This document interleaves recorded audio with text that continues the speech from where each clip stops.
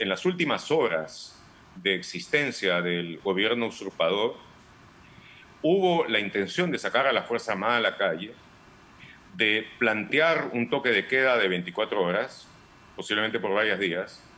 y de llevar a cabo eh, arrestos en los domicilios de las personas eh, que en su concepto eran los que estaban de una u otra forma dirigiendo esto. Me imagino de que entre las horas... consumaba cualquier, digamos, si alguien tenía dudas sobre una dictadura, eso lo consumaba.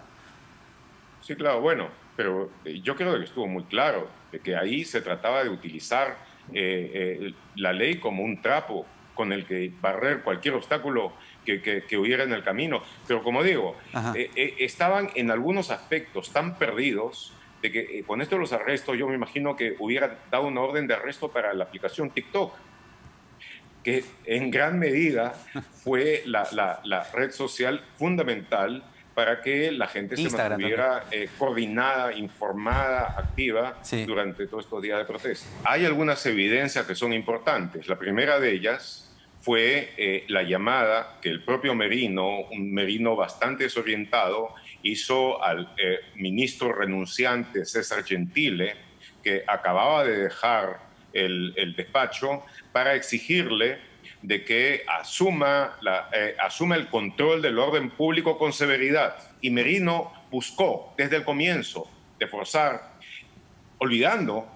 de que el expresidente Belaunde estuvo en el lado del pueblo en la marcha de los cuatro suyos, eh, de que se diera a cabo una represión fuerte y dura. Gentile, por supuesto, no aceptó, es más, le dijo que no podía ser, ya estaba publicada su renuncia y que se iba. Entonces, buscaron un ministro y el que aceptó aquello fue eh, Gastón Rodríguez Limo,